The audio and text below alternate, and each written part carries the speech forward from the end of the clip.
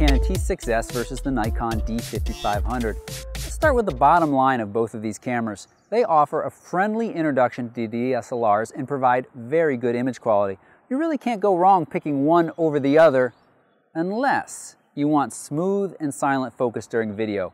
Really, only the Canon provides that. The Nikon, not so much.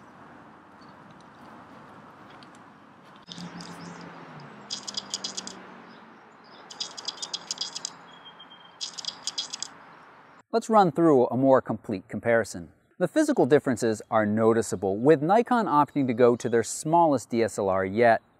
The D5500 combined with that kit lens that offers a retractable design provides a nicely portable DSLR. Weight-wise, however, they end up feeling very similar in the hand, though the Nikon does offer some modest weight savings. If you travel lots and need to carry your gear, that might be something worth considering. With the smaller size of the Nikon does come a few sacrifices. Unlocking that kit lens is a required extra step before you can use the camera, and the manual control of this camera is not nearly as friendly as the Canon, especially the T6S. It's worth noting that Nikon has provided that touchscreen function that lets you use it when the camera's up to your eye.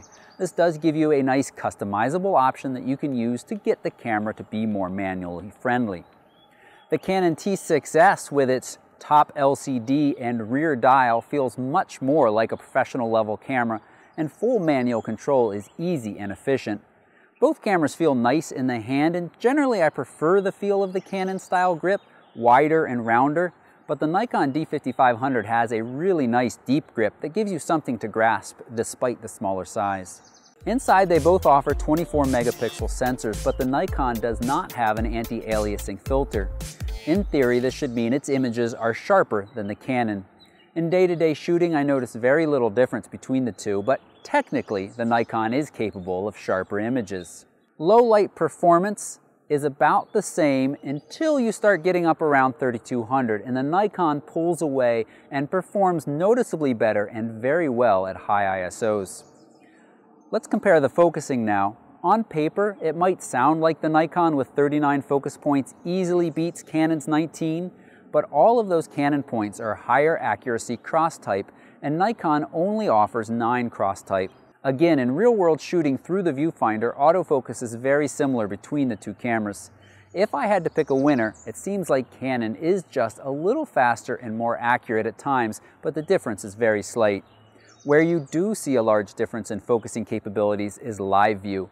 Canon provides excellent live view focusing, great at tracking moving subjects, and as I showed in the opening shot, that focus is silent and smooth when you're using one of their STM kit lenses.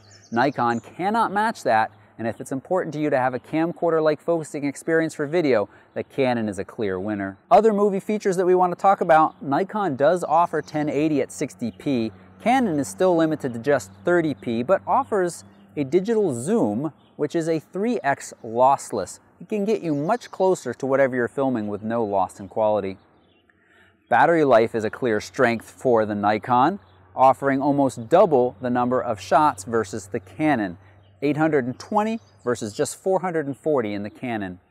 Nikon also has additional scenes and effect modes. Personally, I find these rather gimmicky, and you can get much better results just shooting without effects turned on and using so software to post-process your photos the way you want.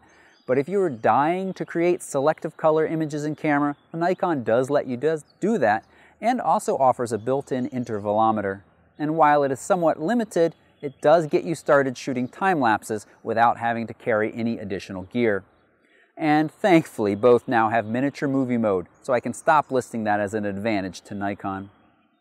Both also offer Wi-Fi and provide smartphone apps. And here's another clear strength of the Canon. You have, if you wish, complete manual control of the camera, changing any of the settings from your smartphone or tablet. The Nikon app is much more limited with just touch to focus and take a picture. This might be easily updated in the future, but right now the Nikon wireless mobile utility doesn't offer much utility. Those are the differences worth mentioning. Have you been keeping track of the score? I haven't, as I believe each point in the win or loss column carries different values depending on your needs. If you'd like to see all of these differences in writing, plus a few more that didn't make the video, visit photorec.tv slash T6S versus D5500. And finally, I want to ask you, why are you researching these two cameras? Is it just for better quality photos? Have you considered mirrorless options? For many years, these DSLRs were the default choice when you wanted better image quality. But we have options now like the Sony a6000, the Fuji X-T10 that provide similar image quality in a smaller, lighter body that sometimes even offers better features. I have a link to my Sony a6000 review below, along with complete reviews of both the Nikon D5500 and the Canon T6S, linked below and at the end of this video. I want to know from you all, which one will you buy or would you buy if you were shopping and why? Leave that answer down below as a comment. I'm going to be collecting the best of those to share on our weekly live show, Wednesdays at 6 p.m.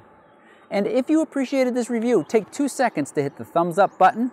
And if you're not already a subscriber, push that button to be notified of future reviews, tips, tricks, and photography tutorials. You can also follow me on Instagram for more behind the scenes. And if you plan to purchase, using my links below is an easy way to thank me and costs you nothing extra. Thanks for watching.